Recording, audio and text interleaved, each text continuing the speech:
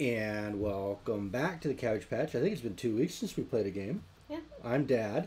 I'm Tom, And I'm good. All right, and what did we play today? we played Pandemic.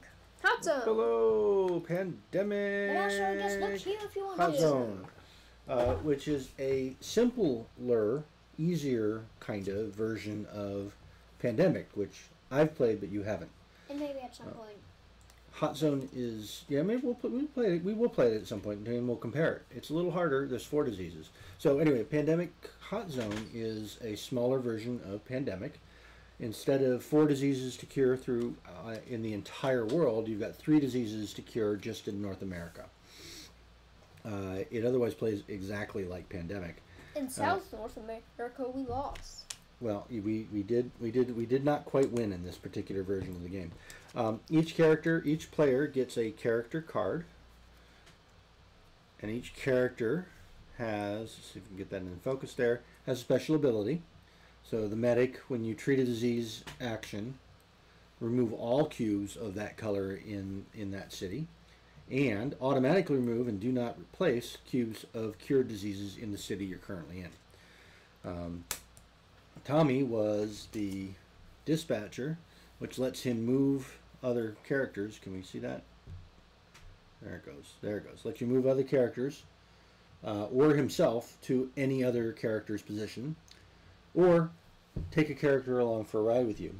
And Gus was the generalist, which gives him an extra action every turn.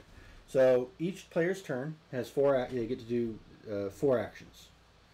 Um, and those actions can be cure, treat a disease in a city. They can be find a cure, and they're summarized on the actions card. So treat a disease, share knowledge, which means trade a card with somebody, discover a cure, which means uh, trade in four cards of the same color to get one of these cure tokens moved up on the board.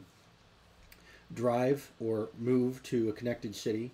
Fly to another city either by taking the card that matches the city that you're in and going anywhere, or discarding a card of a city that you want to go to and discarding that one. And as you play the game, you start off with these city cards. Uh, so you can see mine. I've got four yellow cards here: Havana, Santo Domingo, New Orleans. These are all things in sort of the south southeastern part of uh, of North America here. Um, so I could have traded one of those cards in to fly somewhere or flown to that city. Uh, the game ends when the players cooperate and cure all three diseases by going to Atlanta and trading in four cards of the same color. Yes. Or the game ends by losing by having too many outbreaks, Or On you the- run on out the of here. cards. or you run out of cards over here in the draw pile for the player cards. Because the way that the turns work is you do your four actions, then you draw two player cards, then you draw what they call infection cards. And infection cards are also cards with the city's names on it. And when you draw one of these, you put a disease cube of the color, so in this case a blue cube, in the city that it matches the card. And as the game progresses, more and more infections happen if you get more and more epidemics and outbreaks and things like that. So it progresses pretty quickly. I don't think that took more than probably 30 minutes for us to play, which is kind of cool. Uh, there's a lot of rules. Let people look those up online. What did you like about it, Gus? The models. You like the meeples and the tokens? They're pretty cool. Tommy? I liked. Liked get removing the diseases. Right, getting to a city and removing diseases from it. So treating disease. So Tommy really liked helping people out. I really liked the tension that builds over the game. So you keep drawing these cards and you keep putting more disease throughout North America. And sometimes you draw these things called epidemic cards, which means you put a whole bunch more disease in the place and then reshuffle your, your discarded uh, city infection deck so that it's the same cities that are getting infected over and over and over again. Um, so I really like the tension from that. I think we had to remind ourselves how to win a couple of times, or how to lose, how to win and or lose. Um, there, it is important to know what city you're in, right? So that you can use cards to discard and move Yes. places. And share. and share cards. You have to actually you can share cards between players, but you have to be in the city that matches the card, and you both have to be there. So that's interesting. Um, uh, otherwise, it, it was a fun game. I enjoyed it. Uh, it's very similar in theme to Hot Shots, which we just played not too long ago. Flashpoint, which we played uh, I think two months ago, and Horrified, where you're trying to move to various places on the maps and take your actions to save things. Yes. Uh, so in the firefighting games, we were putting fires out, and horrified, we were saving villagers, and here we're curing diseases. Uh, I think that's it. Uh, what, what anything else? What did I miss? Anything else about the game you want to talk about? no, not really. Are you ready to give it a score? Yep. All right, Gus. How many cabbages are you gonna give it? Two. Two cabbages. Solid two. How about you? Two cabbage, two little cabbage brothers.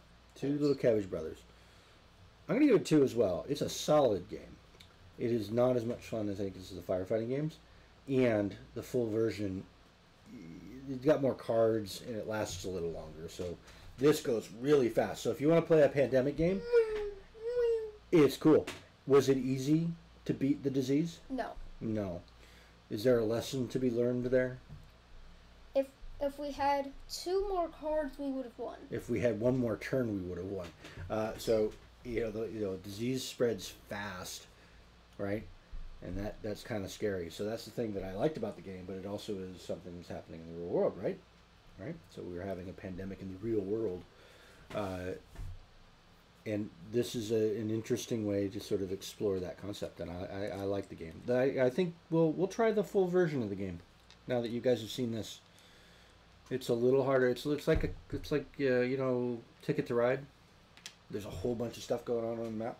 It doesn't take like an hour. It probably will take about an hour. You'll be fine. I, Do not eat or drink the potions.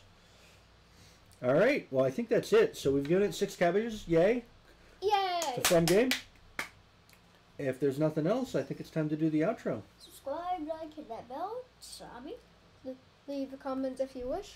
Plenty of cabbages, not our stuff. Because Because we- there will be we- diseases in your cabbages. we are we Just hold for the diseases. rest of your life. We Oh hold my gosh.